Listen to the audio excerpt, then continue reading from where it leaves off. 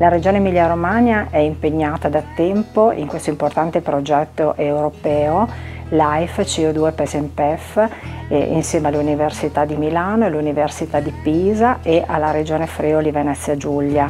A monte dei risultati di cui vi accennerò eh, c'è una regione che ha una grande capitale ambientale forestale in particolare, oltre il 25% della superficie territoriale complessiva, prevalentemente foreste d'Appennino. Di questa grande superficie, parliamo di circa 600.000 ettari, il 20% sono proprio di proprietà regionale concessi in uso a parchi o a unioni di comuni montane, quindi eh, siamo direttamente coinvolti eh, in questa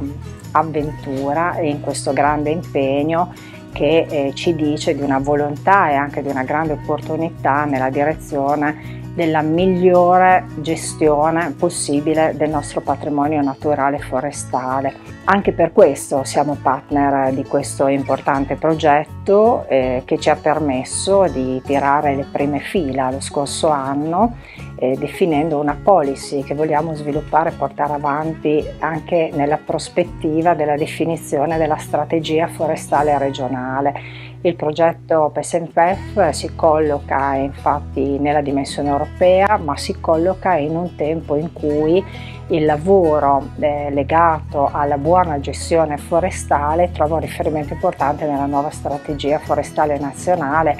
eh, che guardiamo con molta attenzione perché riteniamo che sia davvero una politica molto innovativa che apre nuove strade e nuove opportunità. Questi sono un po' gli elementi delle policy che hanno a che fare con la buona gestione forestale, capace di aumentare fino al 30% la capacità dei nostri boschi di trattenere CO2, quindi un concorso significativo e positivo per il miglioramento della qualità dell'aria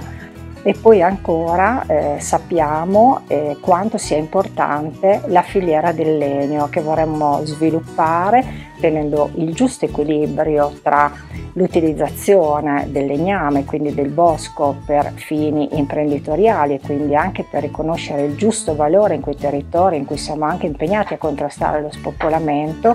insieme anche al tema della salvaguardia di importanti biodiversità e azioni che sono anche tese a contrastare per esempio il dissesto nelle parti più delicate e più fragili del nostro territorio. Questi sono tutti filoni di lavoro che noi abbiamo definito con questa delibera che abbiamo assunto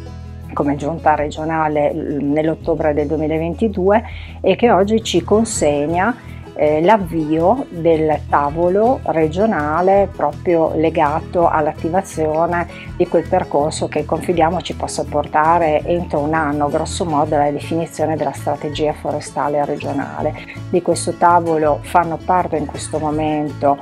eh, tutti i rappresentanti del mondo scientifico e eh, della ricerca della nostra regione, le università, ma anche il Centro Ricerca e Produzione Vegetali, CNR, insieme ai rappresentanti delle categorie produttive e delle associazioni del mondo agricolo. E quindi insomma un mondo di interlocutori molto variegato di cui vogliamo prenderci cura perché la cura dei nostri boschi vuol dire migliore qualità ambientale ma vuol dire anche un ritorno in termini economici di quello che è il giusto valore di questo che è un vero e proprio servizio ecosistemico che va eh, in qualche modo riconosciuto anche sotto il profilo finanziario.